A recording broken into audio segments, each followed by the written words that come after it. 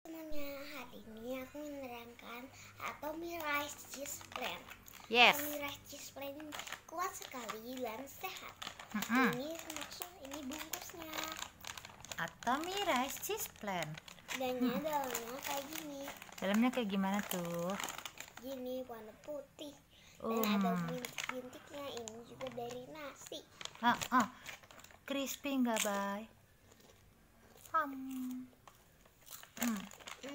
Selain bentuk triangle ada bentuk apa lagi tuh? Kalau bentuk bulat Ah, ah. enggak. Circle. Hmm. Crispy crispy banget ya. Mm, Suka banget ya. Oke, salam Atomi dong. Bye bye. Salam Atomi. Bye bye. Bye.